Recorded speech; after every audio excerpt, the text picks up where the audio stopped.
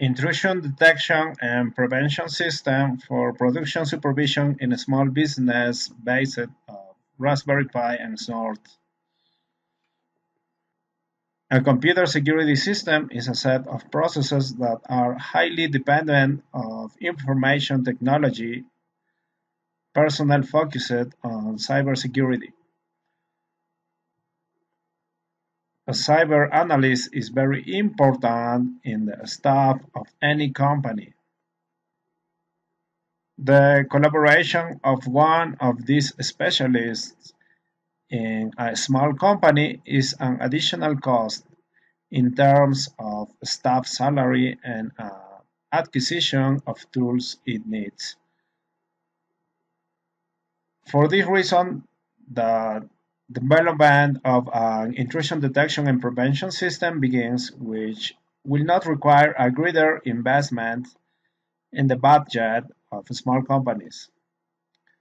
This being a solid security stack that allows registration, visibility, and automatic response to possible threats on the network. Of course, can be remotely managed by and analyzed by a specialist. The annual cost of the full service is about 209 USD. The system is based on Raspberry Pi hardware and free Ubuntu server software as the operating system and Snort is the intrusion detection and prevention system. Design size, and cost. The IDS and IPS prototype design must meet the following characteristics. Size is very important since the device cannot be located in a rack in the server room because there is not. And additional power connections should not be installed and its installation should not require additional cost or specialized personnel. Okay, for this reason, Raspberry Pi is chosen. Since the device has length of 85 6 millimeters, width 56 5 millimeters, and thickness of 11 millimeters. The cost of the equipment is much lower than other solutions. The model chosen for this research is Raspberry Pi 3B, but you can use Raspberry Pi 4. The figure, uh, you have the CPU, the RAM, wireless LAN, uh, Ethernet uh, interface, USB ports, the extended GPIO, the HDMI for uh, display, micro SD port, USB power, and figure shows USB Ethernet adapter connected to Raspberry Pi 3B. So you can connect an adapter to for additional Ethernet interface. The figure shows a network with Raspberry Pi IDS IPS device installed and consists of two interfaces. A WAN interface that is the connection to the internet and LAN interface that is the connection to end devices. Installation is very simple. This is the device, WAN interface to Internet and LAN interface to the internal network. And these are the configurations for uh, Ubuntu server. Ethernet interface and Ethernet, Ethernet 0 interface and Ethernet 1 interface with IPv4 and IPv6 addresses. Wi-Fi. The device can also adopt another configuration with the Ethernet interface that will be the WAN interface and using the IEEE 802.11 wireless Wi-Fi interface. This interface will be the LAN interface with a configuration of hotspot to perform the access point function for clients. This is the device, this is the access point for the clients and the Ethernet interface, the connection to internet. This method can be implemented using a low-cost Raspberry Pi device. This configuration can be set on a branch office. 3G, 4G. Another very versatile configuration for a mobile branch or mobile teleworker is the one that uses 4G LTE interface. This will be the one interface to connect to the internet.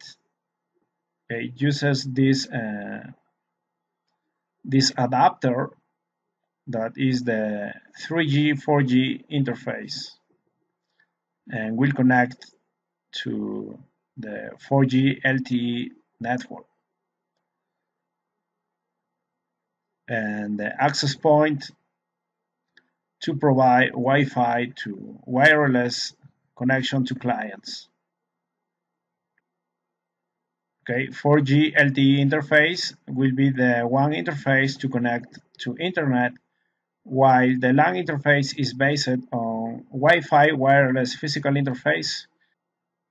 In this way works as a mobile router. Okay, this is the mobile router. To include 4G LTE interface, it is necessary to include Raspberry Pi 4 LTE HAT kit for an additional 107 USD. Mobile router configuration is very special because it works for IPv4 and IPv6. Okay, this is the configuration for IPv4 and IPv6. This interface RMNet Data 1 is the one interface, the 3G, 4G interface, the connection to internet IPv4 and IPv6. And this WLAN 0 is the access point for clients with IPv4 and IPv6 configuration. For IPv4, it works as a router where the WAN interface is in a public subnet different from the subnet configured on the LAN interface. However, uh, for IPv6, the most convenient configuration is the bridge switch, where the same IPv6 subnet is maintained on the WAN and LAN interfaces. On both interfaces, IPv6 uses the same subnet. Traffic monitoring on the IPS IDS device is shown in figure. Okay, this is the traffic. The interface Ethernet 0 is the WAN interface and Ethernet 1 the LAN interface. The capacity of WAN and LAN interfaces is 100 megabits per second. The average use of outgoing traffic from LAN network to WAN network is about 29 megabits per second, which uh, represents 29% of the interface's capacity. In the same test, the average of RAM is about 920 megabytes and remember, maximum is 1024 megabytes. And the average use of processor CPU is 5%. Notice that the RAM is close to be exceeded. However, the configuration of additional 1024 megabytes swap in Ubuntu server will allow the use of more clients. And for better performance, it's possible to use another version of Raspberry Pi, for example, Model 4B with 8 GB of memory. Port scan attack. When laptop uses Nmap to make a port scan reconnaissance to try get information from the router, packets should pass through the IDS IPS device. Then it can detect uh, and log the activity one of the main logs is shown on table. Okay, the priority is one, the protocol TCP, the class web application attack, the IP addresses and ports, with the description is the scan possible Nmap user agent observed. The VPN proxy when laptop uses Tor browser to access internet trying to avoid firewall rules implemented on the organization, packets should pass through IDS and IPS device, then it can detect and log the activity. One of the main logs shown on table.